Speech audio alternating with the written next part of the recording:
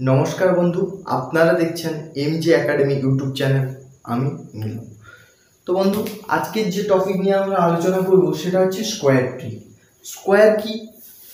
Square হচ্ছে আমরা ছোটোবেলায় শিখেছিলাম কোনো সংখ্যার বর্গ কীভাবে নির্ণয় করতে হয়। অর্থাৎ সেই সংখ্যাকে আমরা যদি দুবার গুণ করে নিই, তাহলে সেই সংখ্যার আমরা বর্গ পেয়ে থাকি। তাহলে এখানে সেই সংখ্যার বর্গ আমরা সেভাবে নির্ণয় করব না।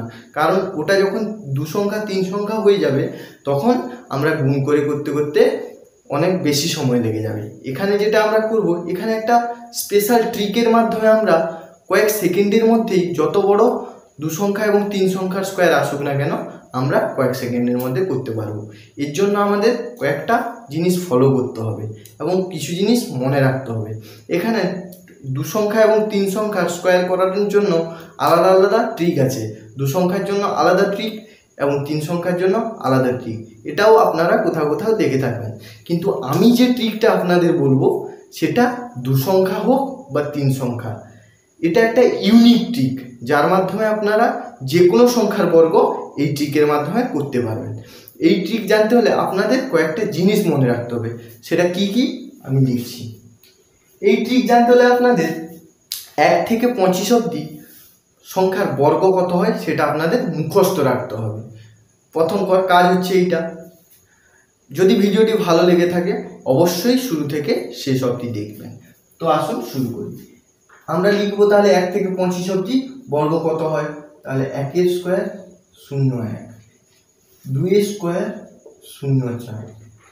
তিনের স্কোয়ার শূন্য নয়। এই শূন্য এক, শূন্য চার, শূন্য নয়। এই শূন্যটা সামনে কেন লিখছি? এর গুরুত্বটা আমরা ভিডিও চলাকালীন বুঝতে পারব। তো দেখতে থাকুন। Four square sixteen five square twenty five six square অর্থাৎ ছয় স্কোয়ার ছত্রিশ। সাতের স্কোয়ার ঊনপঞ্চাশ। আটের স্কোয়ার চৌষট্টি। নয় স্কোয়ার একাশি। দশের স্কোয়ার একশো। এগারো স্কোয়ার একশো একুশ, বারো স্কোয়ার একশো চুয়াল্লিশ, তেরো স্কোয়ার একশো উনসত্তর, চোদ্দ স্কোয়ার একশো ছিয়ানব্বই, পনেরো স্কোয়ার দুশো পঁচিশ, ষোলো স্কোয়ার দুশো ছাপান্ন সাতারো স্কোয়ার দুশো উননব্বই, আঠারো স্কোয়ার তিনশো চব্বিশ উনিশের স্কোয়ার তিনশো একষট্টি। কুড়ি স্কোয়ার চারশো। একুশের স্কোয়ার চারশো একচল্লিশ।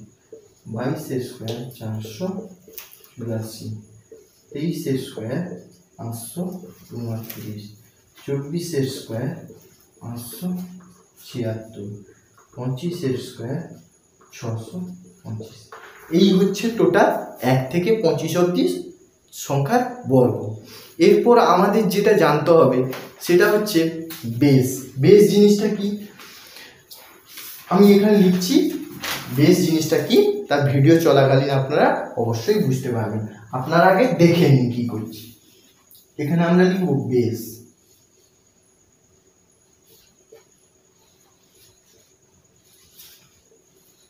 এই বেস লিখলাম। বেসে কি লিখব? লিখলাম পঞ্চাশ। একশো একশো পঞ্চাশ, দুশো দুশো পঞ্চাশ, তিনশো তিনশো। এরকম কি করব? Show on. অর্থাৎ দুশো পঞ্চাশ, তিনশো, এরকম শো চলতে থাকবে। এখানে পঞ্চাশ যখন আমরা বেশ ধরবো, তখন আমরা একে হাফ দিয়ে গুণ করব। একশো বেশ ধরলে এক দিয়ে একশো পঞ্চাশ বেশ ধরলে এক গুণ একে দুই দিয়ে গুণ করব আমরা। দুশো থাকলে দুই দিয়ে আড়াইশো থাকলে দুই পূর্ণ একে দুই দিয়ে তিনশো থাকলে তিন দিয়ে। আপনারা নিশ্চয়ই সিরিজটা বুঝতে পেরেছেন। পঞ্চাশ থাকলে হাফ দিয়ে গুণ করব, একশো থাকলে এক দিয়ে গুণ করব, একশো পঞ্চাশ থাকলে এক পূর্ণ একের দুই দিয়ে গুণ করব। অর্থাৎ এইভাবে হাফ হাফ করে বেড়ে চলবে। তো আপনারা সিরিজটা নিশ্চয়ই বুঝতে পেরেছেন। তাহলে আমরা একটা উদাহরণ দিয়ে দেখি। এখন আমরা একটা উদাহরণ দিয়ে দেখব। এরপর কি শিখব আমরা? আর কয়েকটা কথা বলে নিই। আমরা যখন কোনো সংখ্যার পঁচিশ, অর্থাৎ ইউনিট ডিজিট পাঁচ থাকবে। পঁচিশের স্কোয়ার বের করব যখন। যখন আমরা পঁয়তাল্লিশের স্কোয়ার বের করব, যখন আমরা পঁচাত্তরের স্কোয়ার একশো পঁচিশের স্কোয়ার একশো পঞ্চান্ন স্কোয়ার অর্থাৎ ইউনিট ডিজিট যখন পাঁচ থাকবে ইউনিট ডিজিট যখন পাঁচ থাকবে, সেই সংখ্যার স্কোয়ার আমরা অনেক সহজে বের করতে পারব। দেখে নিন তাহলে প্রথম দেখে ধরো পঁয়তাল্লিশ স্কোয়ার পঁয়তাল্লিশের স্কোয়ার বের করতে হলে পাঁচের স্কোয়ার আমরা পঁচিশ এখানে লিখে দেবো। কি বলো পাঁচের স্কোয়ার পঁচিশ আমরা লিখে দেবো। এরপর কি? চারের চারের সাথে তার পরের ডিজিটটা গুণ করে লিখে দেবো। তাহলে চার, চারের পরের ডিজিট পাঁচ, তাহলে পাঁচ ইন্টু চার কুড়ি। এটাই হচ্ছে আনসার পঁচাত্তরের স্কোয়ার পাঁচ পাঁচশো পঁচিশ এখানে লিখে দেবো আর সাথে ছাপান্ন। ছাপান্নশো পঁচিশ। সাতের পরের ডিজিট আট তাই আটের সাথে সাত গুণ করে ছাপান্নশো পঁচিশ। এভাবে কোনো ইউনিট ডিজিট যদি পাঁচ থাকে, তাহলে আমাদের স্কোয়ার বের করার সুবিধা আছে। কিন্তু ইউনিট ডিজিট যদি পাঁচ না থাকে, তাহলে আমরা কীভাবে বের করব? সেটাই আপনাদের এখানে দেখাবো। একটাই ট্রিক ভালো করে বুঝবেন, অবশ্যই এর জন্য ভিডিওটাকে শুরু থেকে শেষ অবধি দেখতে হবে। তো দেখুন। এরপর ধরুন, আমরা একটা দেখাবো। সাতচল্লিশের স্কোয়ার আমরা বের করব। তাহলে সাতচল্লিশটা কোন বেসের কাছাকাছি সেটা আমাদের আগে জানতে হবে। সাতচল্লিশটা অবশ্যই পঞ্চাশ বেসের কাছাকাছি, তাই তো? সাতচল্লিশটা অবশ্যই পঞ্চাশ বেসের কাছাকাছি। তাহলে পঞ্চাশ থেকে সাতচল্লিশটা কত কম? তিন কম। কত কম? তিন কম। তাহলে সেই তিনের স্কোয়ারটা আগে আমাদের লিখে নিতে হবে। তাহলে তিনের স্কোয়ার কত লিখব? নয়। আপনারা তো নয় বলবেন। কিন্তু এখানে তিনের স্কোয়ার আমি যেটা লিখব, সেটা হচ্ছে শূন্য নয়। তাই এখানে বলেছিলাম যে শূন্য নয়, শূন্য চার, শূন্য এক, কেন লিখলাম? তার গুরুত্বটা আমরা ভিডিও চলাকালীন বুঝতে পারব। তাহলে বুঝতে পারলেন নিশ্চয়ই তিনের স্কোয়ার আমরা শূন্য নয় লিখলাম। এরপর আমরা কি দেখব? পঞ্চাশ থেকে তিন বাদ দিলে সাতচল্লিশ হচ্ছে। তাহলে তিন কম বলে তিনের স্কোয়ার শূন্য নয় লিখলাম।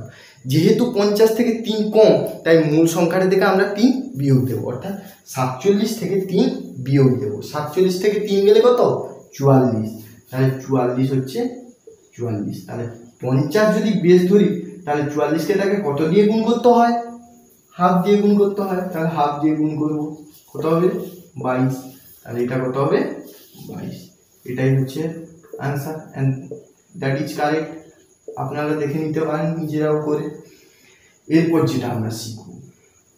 এখানে পঞ্চাশ বেশ থাকার জন্য আমরা চুয়াল্লিশকে হাত দিয়ে গুণ করলাম। এরপর একটা দেখব। সাপোজ ফিফটি সেভেন স্কোয়ার মানে সাতান্ন স্কোয়ার আমরা বের করব। তাহলে সাতান্নটা কোন বেসের কাছাকাছি? পঞ্চাশ বেস না একশো বেসের কাছাকাছি? অবশ্যই পঞ্চাশ বেসের কাছাকাছি। পঞ্চাশের সাথে সাত যোগ করলে সাতান্ন পাওয়া যায়। কিন্তু একশো থেকে তেতাল্লিশ বিয়োগ করলে সাতান্ন পাওয়া যায়। তাই তো? তাহলে সাতান্নটা অবশ্যই পঞ্চাশ বেশের কাছাকাছি। তাহলে দেখুন, সাতান্ন পঞ্চাশ থেকে সাতান্ন কত বেশি? সাত বেশি। তাহলে সাতের স্কোয়ার কত? ঊনপঞ্চাশ। ঊনপঞ্চাশটা আমরা এখানে লিখে নেব। তাহলে সাতান্ন থেকে পঞ্চাশ থেকে সাতান্ন কত বেশি? সাত বেশি। তাহলে আমরা সেখানে সাতচল্লিশ যখন বের করেছিলাম, তখন পঞ্চাশ থেকে তিন কম ছিল। তাই আমরা সাতচল্লিশ থেকে তিন বিয়োগ করেছিলাম। এখানে সাতান্নটা পঞ্চাশের থেকে যেহেতু বেশি, তাহলে মূল সংখ্যার সাথে সাত আমরা অ্যাড করব, অর্থাৎ যোগ করব। তাহলে সাতান্নর সাথে সাত যোগ করলে কত হয়? চৌষট্টি। এখানে চৌষট্টি লিখব। যেহেতু এটা পঞ্চাশের বেশ তাহলে এর সাথে আমরা হাফ গুণ করব। কত হবে? বত্রিশ। তাহলে বত্রিশশো ঊনপঞ্চাশ যেটা হচ্ছে ফাইনাল আনসার অ্যান্ড যেটা কারেক্ট এরপর আমরা একটা দেখব, তাই তো? এরপর দেখব ছিয়াত্তরের স্কোয়ার সেভেন্টি সিক্স স্কোয়ার অর্থাৎ ছিয়াত্তরের স্কোয়ার দেখব। ছিয়াত্তরের স্কোয়ারটা কোন বেসের কাছাকাছি? পঞ্চাশ বেসের কাছাকাছি না একশো বেসের কাছাকাছি? কোন বেসের কাছাকাছি? একশো থেকে চব্বিশ বিয়োগ করলে ছিয়াত্তর হয়। কিন্তু পঞ্চাশের সঙ্গে ছাব্বিশ যোগ করলে ছিয়াত্তর হয়। তাহলে অবশ্যই একশো একশো বেসের কাছাকাছি। তাহলে একশো বেসের কাছাকাছি। একশো থেকে ছিয়াত্তরটা কত কম? চব্বিশ কম। একশো থেকে ছিয়াত্তরটা চব্বিশ কম। তাহলে চব্বিশের স্কোয়ার কত? তাই বলেছিলাম বন্ধু, এক থেকে পঁচিশ অব্দি স্কোয়ারটা মুখস্থ রাখতে হবে। তাহলে চব্বিশের স্কোয়ার কত? পাঁচশো ছিয়াত্তর। লিখব কত? ছিয়াত্তর। পাঁচটা আমাদের হাতে থাকবে। এই ছিয়াত্তর অর্থাৎ একক স্থানীয় অঙ্ক এবং দশক স্থানীয় অঙ্কটা আমরা লিখলাম। পাঁচটা আমাদের হাতে থাকবে তাহলে এবার ছিয়াত্তরটা একশোর বেশ, তাই তো? তাহলে একশো থেকে ছিয়াত্তর, একশো থেকে চব্বিশ কম হলে ছিয়াত্তর। তাহলে এখানে কম হচ্ছে, তাই মূল সংখ্যা থেকে আমরা চব্বিশ বিয়োগ করব। যেহেতু একশো বেশ ধরেছি, তাহলে ছিয়াত্তর থেকে চব্বিশ বিয়োগ করলে হবে বাহান্ন, তাই তো? বাহান্ন হবে।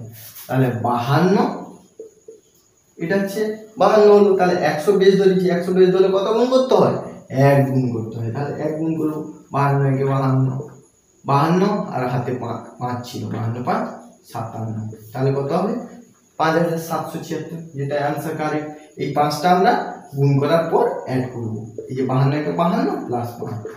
সাতান্ন। এই সাতান্নটা আমরা এখানে লিখেছি। তাই পাঁচ হাজার সাতশো ছিয়াত্তর যেটা হচ্ছে সঠিক উত্তর। এরপর আমরা আর একটা দেখব।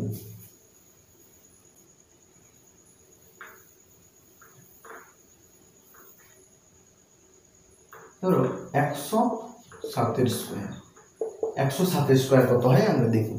তাহলে একশো সাতটা কোন বেসের মাঝামাঝি? একশো বেসের মাঝামাঝি একশো বেসের কাছাকাছি না একশো পঞ্চাশ বেসের কাছাকাছি? অবশ্যই একশো বেসের কাছাকাছি। এটা সবাই বুঝতে পারছেন তাহলে একশো বেসের যেহেতু কাছাকাছি, কত বেশি একশো থেকে? সাত বেশি। তাহলে সাতের স্কোয়ার কত? উনপঞ্চাশ। লিখে দিলাম। এরপর একশো থেকে যেহেতু সাত বেশি তাহলে এর সাথে কি হবে? সাতটা যোগ করতে হবে। তাহলে একশো সাত যুক্ত সাত, একশো চোদ্দ। তাহলে একশো চোদ্দ লিখলাম। যেহেতু এটা একশোর বেশ, এর সঙ্গে এক গুণ করতে হবে। এক গুণ করলে একশো চোদ্দোই হবে। তাই একশো চোদ্দ উনপঞ্চাশ অর্থাৎ এগারো হাজার চারশো উনপঞ্চাশ হচ্ছে ফাইনাল উত্তর। এইভাবে আমরা যে কোনো সংখ্যা বর্গ করতে পারব। এরপর আরও একটা দেখছি বড়। কত? তিনশো সাতাশের স্কোয়ার কত? তিনশো সাতাশের স্কোয়ার আমরা বের করব। তাহলে তিনশো সাতাশের স্কোয়ারটা আমরা যখন বের করব, তখন এটা কোন বেসের কাছাকাছি? তিনশো বেসের কাছাকাছি? তিনশো পঞ্চাশ বেসের কাছাকাছি। কোন বেসের কাছাকাছি? অবশ্যই তিনশো পঞ্চাশ বেসের কাছাকাছি। তাই তিনশো পঞ্চাশ বেসের যেহেতু কাছাকাছি, কত তিনশো পঞ্চাশ থেকে কত বিয়োগ করলে তিনশো সাতাশ হয়? তেইশ বিয়োগ করলে তাহলে তেইশের স্কোয়ার কত হয়? আমাকে লিখে নিতে হবে। তেইশের স্কোয়ার পাঁচশো উনত্রিশ। অর্থাৎ উনত্রিশ লিখব, পাঁচটা আমাদের হাতে থেকে যাবে। তাহলে দেখুন, তিনশো সাতাশটা তিনশো পঞ্চাশ বেসের কাছাকাছি। তাহলে কত? তেইশ বিয়োগ করলে, যেহেতু তিনশো পঞ্চাশ থেকে তিনশো সাতাশটা কম, কত কম? তেইশ কম। তাহলে এই মূল সংখ্যা থেকে আমরা তেইশ বিয়োগ করে দেবো। তাহলে তিনশো সাতাশ থেকে তেইশ বিয়োগ করলে তিনশো চার। কত? তিনশো চার। তাহলে এবার তিনশো চার, যেহেতু আমরা তিনশো পঞ্চাশ বেসের কাছাকাছি তাই তিনশো পঞ্চাশ বেস যেহেতু আমরা ধরেছি, তাই একে কত দিয়ে গুণ করব? তিন পূর্ণ একে দুই অর্থাৎ সাতের দুই দিয়ে গুণ করব। তাহলে দু একে দু দু পাঁচে দশ, দুয়ে চার। তাহলে একশো বাহান্ন ইন্টু সাত করব। একশো বাহান্ন সাথে সাত দুই চোদ্দ, চার। হাতে থাকল এক, সাত পাঁচ পঁয়ত্রিশ সাথে ছত্রিশে ছয়। হাতে থাকল তিন, সাত সাত তিন, দশ। হাজার চৌষট্টি। হাতে কত ছিল? পাঁচ। এটা কিন্তু মনে রাখতে হবে, হাতে যেটা থাকবে। হাজার সিক্সটি নাইন অর্থাৎ one zero six nine two nine হচ্ছে ফাইনাল আনসার এরকম যত বড়ই আমাদের স্কোয়ার বের করতে আসুক না কেন, আমাদের যদি এই একটাই ট্রিক জানা থাকে, তাহলে আমরা যে কোনো সংখ্যা অ্যানি নাম্বার অ্যানি নাম্বারের আমরা স্কোয়ার আমরা বের করতে পারব। তাহলে এই হচ্ছে আমাদের মূল ভিডিও এটা আমরা বের করব কেন? আমরা যখন যে কোনো কম্পিটিটিভ এক্সাম আমরা যখন দিতে যাই, তখন অবশ্যই স্কোয়ার বের করার অঙ্ক আসছে সেখানে। তখন আমরা কি করি? সেই ছোটোবেলার নিয়মে আমরা স্কোয়ার বের করতে থাকি। তখন কি হবে? আপনি পরীক্ষা রুমে আপনিই বসে থাকবেন, বাকিরা পরীক্ষা দিয়ে চলে যাবে। কিন্তু আপনার পরীক্ষা শেষ হবে না। তাই এই ট্রিক যদি আপনার জানা থাকে, তাহলে কি হবে আপনি? সবার আগে করে সেটা অবশ্যই কম সময়ের মধ্যে করে ফেলতে পারবেন। তাই বন্ধু যদি বলি, অবশ্যই যদি ভিডিওটি ভালো লেগে থাকে, তাহলে লাইক শেয়ার কমেন্ট অবশ্যই করবেন। এবং যদি কোনো ভুল হয়ে থাকে, তাহলে অবশ্যই কমেন্ট বক্সে লিখে জানাবেন। তাহলে এখনকার মতো এ পর্যন্তই। পরে দেখা হবে নতুন আর কোনো ইন্টারেস্টিং টপিকের সাথে। ততক্ষণের জন্য ধন্যবাদ।